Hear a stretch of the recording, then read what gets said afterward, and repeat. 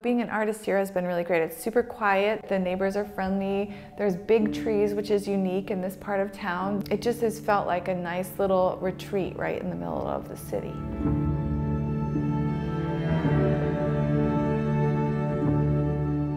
When I first moved here, 22 years ago, there was only at the end of the street where NoHo West is now, it was just a parking lot and a single Macy's and a few scattered buildings. And there was an ongoing dispute that went for years and years, most of the time I lived here, over what to do with it. And it was really a downtrodden feeling. And then when they had the plans for NoHo West, the neighbors and I were like, wow, that looks really nice. They made these computer models and mock-ups of what it would be like. I can get there in four minutes, just to Trader Joe's, to the movie theater, gym, to the beauty supply store. There's an urgent care there, there's restaurants. It's so convenient and unique to have in LA, where you can just walk to all those things.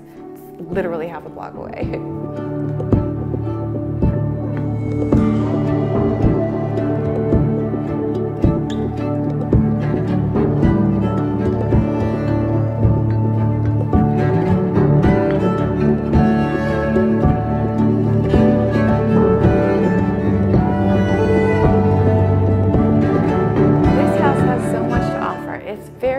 When I first saw it, it was a mess. There's no other way to say it. It had shag carpet, corkboard, and panel, wood paneling everywhere. I mean, it hadn't been renovated for a long time. It had all kinds of just weird colors and I loved it because of the, the shapes. It's unique, it's a, it's a very beautiful home. It feels very comfortable here. It's cozy, it's spacious. The street is quiet, the neighbors are nice, the garden is beautiful, the pool is amazing. There's a lot of different rooms. You could also um, renovate the garage, which I always wanted to do and didn't do, but you could put an ADU in there. You could make it a home office. You could rent it out. You could even make a private walk to there. This house is now what I always wanted to make it be, but never had the resources.